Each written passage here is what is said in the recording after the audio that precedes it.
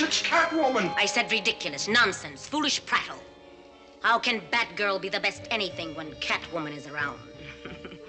no best dressed list is complete without the addition of the queen of criminals, the princess of plunder, yours untruly. Right, Manx and Angora? Right.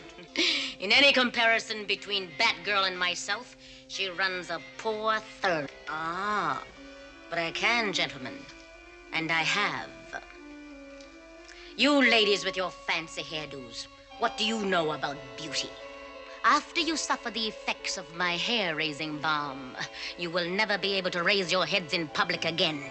Then we'll see who's the fairest of them all. No, not our hair. Anything but that.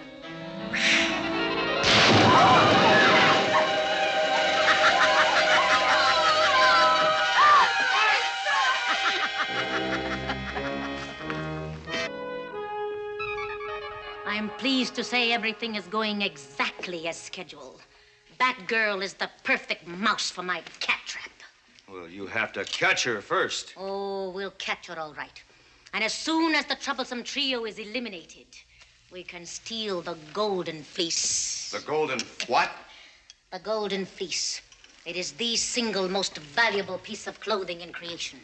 A million dollars worth of 24 karat gold cloth, all woven into one gorgeous garment, belonging to Queen Bess of Belgravia. I managed to purloin this picture of it today at the couturier's luncheon when no one was looking. Oh, I glow. There is no open market for it.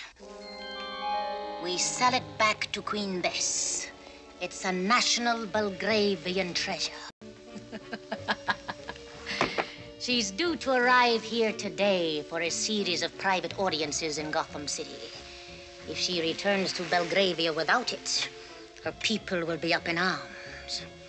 In other words, we are in the catbird seat. Manx, take a telegram. Minnie, ha ha. if you'll all remain calm, no one will get hurt. Just why are you doing this?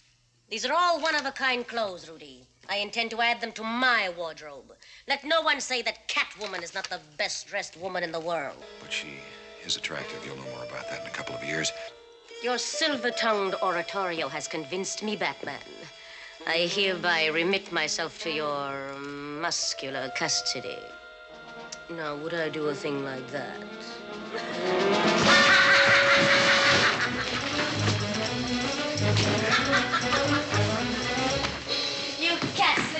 The hideout. There's only one ingredient missing in this stew Batgirl. Look again, Catwoman.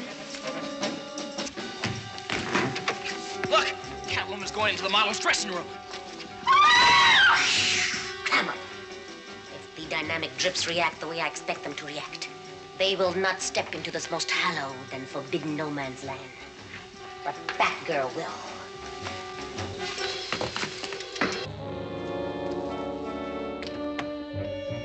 Come out, come out, wherever you are, Catwoman.